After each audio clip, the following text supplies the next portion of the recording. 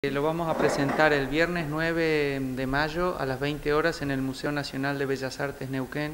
eh, el mismo libro que presentamos en Buenos Aires, que es la novela La Primera Piedra. Es una novela de suspenso, policial, que cuenta la historia o parte de la vida de un hombre eh, común y corriente, como cualquiera de nosotros, que de un día para otro pierde todo lo más importante que tenía.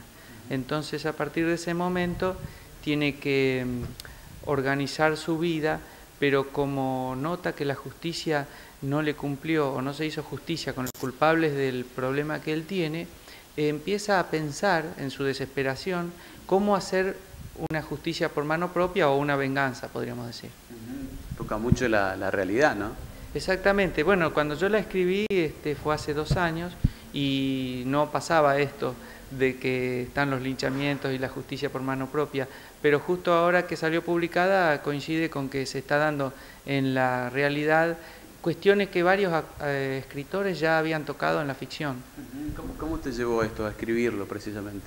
Eh, a escribirlo me llevó mm, la idea de explorar en la mente de alguien que pierde todo lo que considera importante.